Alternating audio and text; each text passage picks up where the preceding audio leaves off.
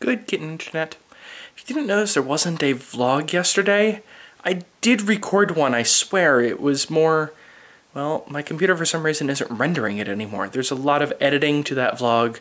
Honestly, it wasn't a very good vlog anyway. And it seems to just be hanging randomly. I'm going to try rebooting my machine tomorrow.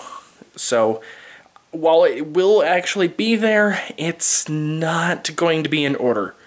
I may end up editing it even more heavily and making it good instead of the rush job that it was. So today was role playing.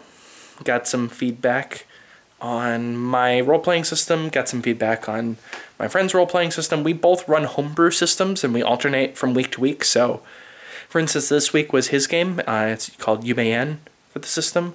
Next week is my game, which is Perky there's an exclamation point at the end, so I have to make a face. Either way, both systems are actually somewhat similar to each other, probably because we've known each other for over a decade now and been basing systems off of each other's.